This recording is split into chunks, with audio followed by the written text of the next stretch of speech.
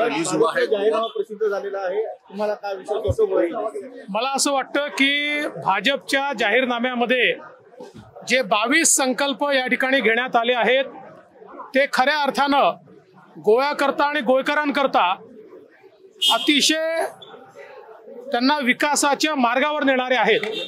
विशेषतः गोव्यातल्या महिलांकरता तीन सिलेंडर मोफत देण्याची योजना असेल महिलांकरता दोन टक्के दराने गृहकर्ज असेल किंवा गोव्यातल्या युवकांना इतर पार्ट्या म्हणतायत आम्ही बेरोजगारी भत्ता देऊ.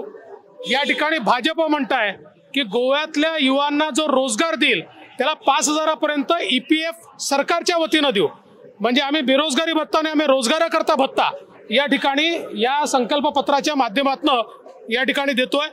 गोव्यामध्ये क्लीन ट्रान्सपोर्ट या ठिकाणी आणण्याचा आमचा प्रयत्न आहे. यासोबत इन्फ्रास्ट्रक्चर डेव्हलपमेंटचं मोठं काम हे गोव्यामध्ये या ठिकाणी होणार आहे. त्यामुळे एकूणच जर हे बावीस संकल्प आपण बघितले तर आधुनिक गोव्याकरता आणि गोव्यातल्या महिलांना गोव्यातल्या युवांना गोव्यातल्या बुजुर्गांना आता बुजुर्गांकरता तीन हजार रुपये पेन्शन हे या ठिकाणी दिलं जाणार आहे. त्यामुळे या सगळ्या गोष्टींमुळे लोक अतिशय आनंदाने हा जाहीरनामा स्वीकारतील आणि भारतीय जनता पक्षाला त्या ठिकाणी निश्चितपणे मतदान करतील. गोवा में भारतीय जनता पार्टी ने 22 संकल्प लिए हैं और इस घोषणा पत्र के माध्यम से तीन सिलेंडर हमारे महिलाओं को मुफ़्त मिलने वाले हैं। महिलाओं के माध्यम से अन्नपूर्णा कैंटीन चलने वाली है। महिलाओं के लिए अगर वो घर खरीदते हैं तो केवल two percent rate of interest पर उनको लोन मिलने वाला है, प्लॉट मिलने वाला है।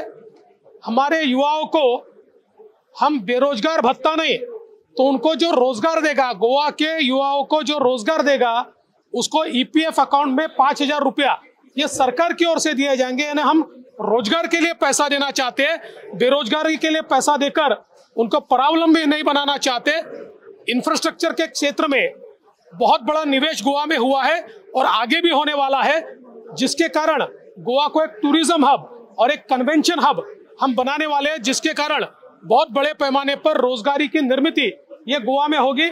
सीनियर सिटीजन्स के लिए तीन हज़ार रुपया ये पेंशन देने की घोषणा भी हमारी गोवा की सरकार ने यहाँ पर की है। कुल मिलाकर ये जो 22 संकल्प है क्लीन एनर क्लीन ट्रांसपोर्टेशन का संकल्प, ये जो 22 संकल्प यहाँ पर हम लोग कर रहे हैं, ये मैं ऐसा मानता हूँ लोगों को पसंद आएँगे। और गोवा की जनता ये बीजेपी को फिर एक बार आशीर्वाद देगी।